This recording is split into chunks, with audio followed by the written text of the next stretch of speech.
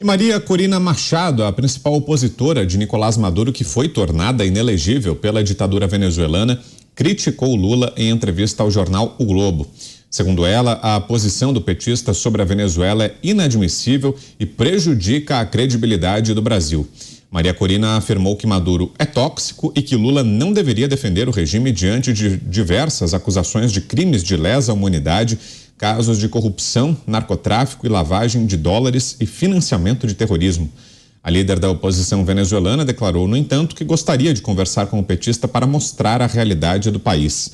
Maria Corina deverá ser ouvida pela Comissão de Segurança Pública do Senado brasileiro em agosto. Boas declarações, Dantas, na Maria Corina. E você vê semelhanças entre o que está acontecendo lá na Venezuela e aqui no Brasil, Dantas? É, eu sou você amanhã, né? É, poderia ter sido a frase dela.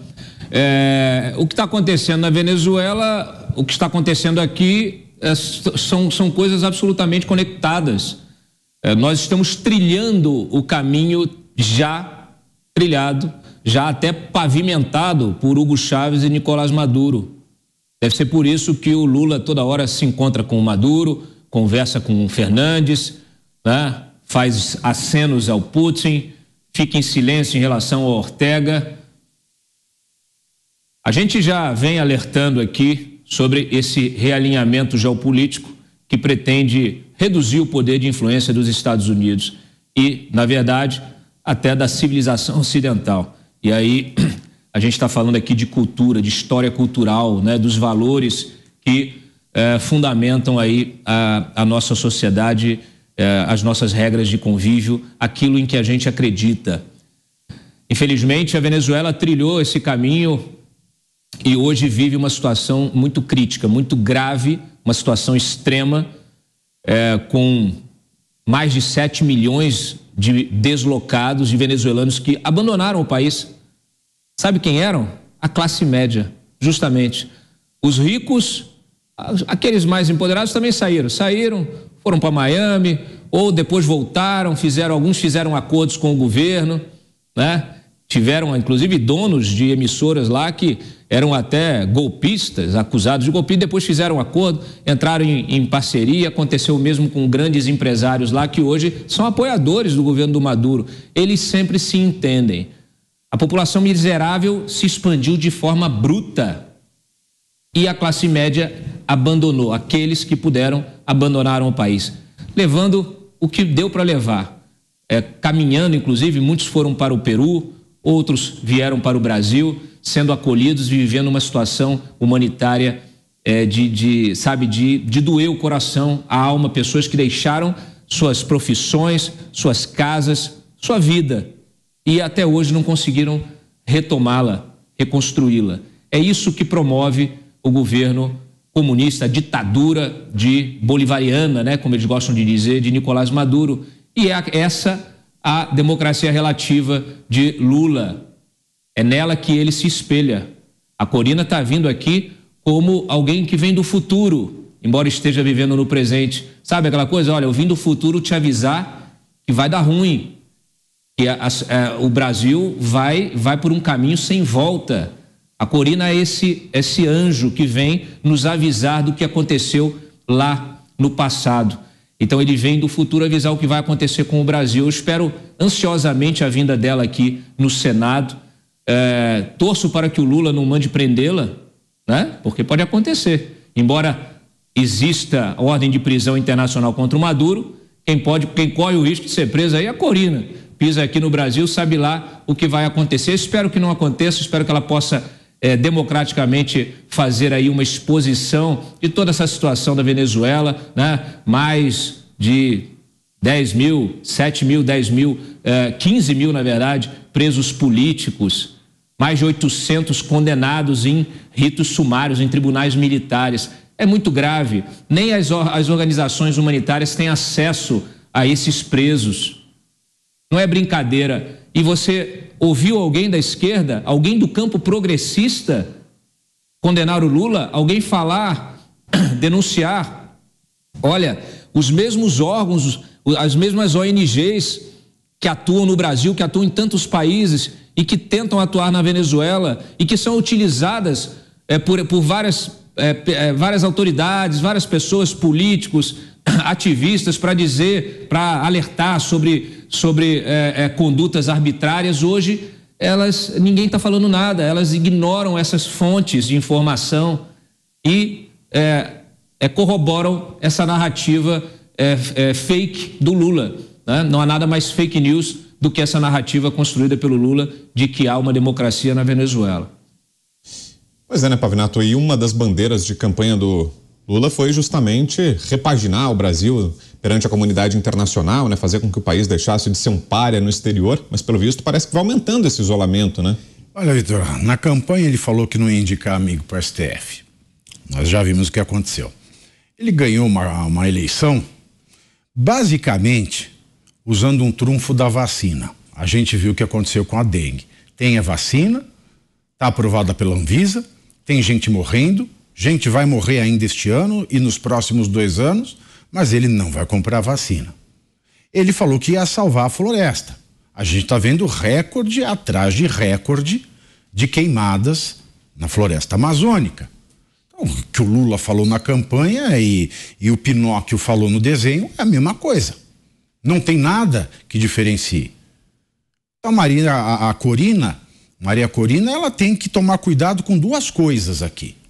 Primeiro, alguém precisa buscar lá no aeroporto e falar: olha, não passa perto aqui do GSI, porque é a última que falou mal do Maduro levou um soco no peito. Então tome cuidado.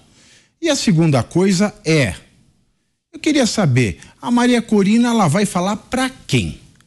para o Senado, porque o Senado tem um presidente, assim como tem a Câmara dos Deputados. Mas o presidente do Senado é presidente do Congresso. O presidente do Senado, ele tem uma legitimidade constitucional para contra-argumentar, para requerer esclarecimentos, para falar com o ministro do Supremo Tribunal Federal e questionar decisões tomadas. O presidente do Senado ele pode fazer isso, aliás, ele é aquele que tem a competência constitucional para isso, é o único que pode fazer. A Maria Corina vai vir para o Senado, não é uma vergonha só para o Lula, é uma vergonha para o próprio Senado.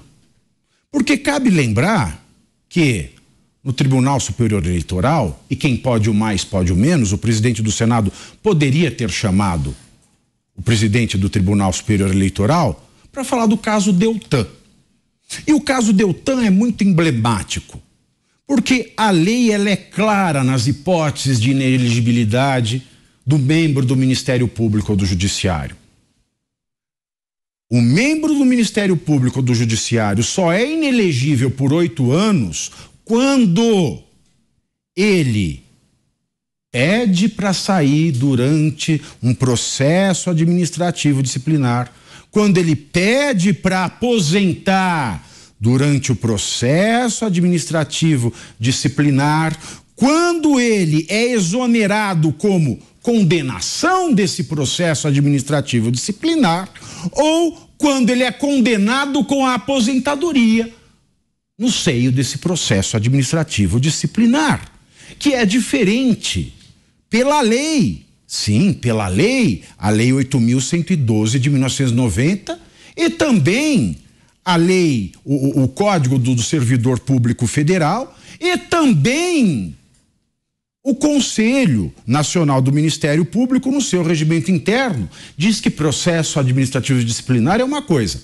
sindicâncias e reclamações são outras. E quando então o Deltan ele foi cassado sem haver um processo administrativo disciplinar, ele foi cassado numa hipótese fora da lei. Então é uma vergonha para o Senado Federal Brasileiro receber Maria Corina Machado, sendo que o Senado brasileiro assistiu o destroçamento da lei, lei que é de competência do Congresso, cujo presidente é o presidente do Senado, e nada disse.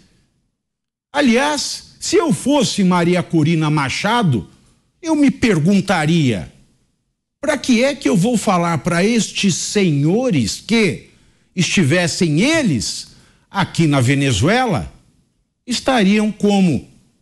Estiveram para Macunaíma, as araras e as jandaias vermelhas, os senadores que estão lá para o Maduro, porque eles assistiram e não fizeram absolutamente nada. Você, Mota, sua análise sobre essas declarações de Maria Corina, esse adjetivo que ela usa, inadmissível, é uma boa palavra para explicar a posição do Brasil em relação à Venezuela, Mota? É inadmissível? É. Eu estive em Caracas no início dos anos 2000, eu trabalhava em uma empresa que tinha uma subsidiária venezuelana.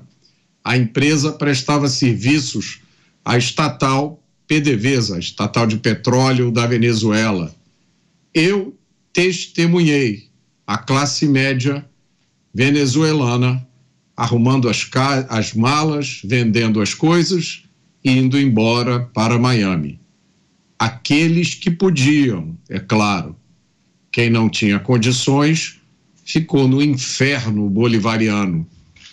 Eu me lembro de muitas pessoas que eu conheci em Caracas, pessoas como nós, profissionais liberais, amáveis, gentis, educados, e fico pensando o que foi que aconteceu com eles.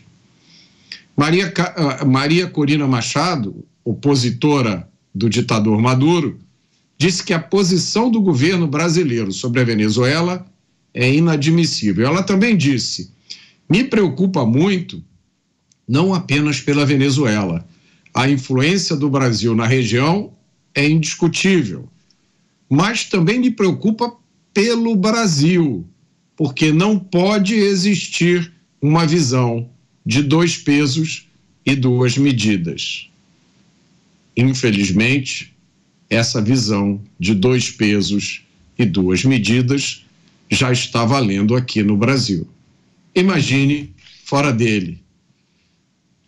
É como disse uma vez o grande economista Thomas Sowell: geralmente é inútil apresentar fatos e análises para pessoas que desfrutam de um senso de superioridade moral justamente em razão da sua ignorância.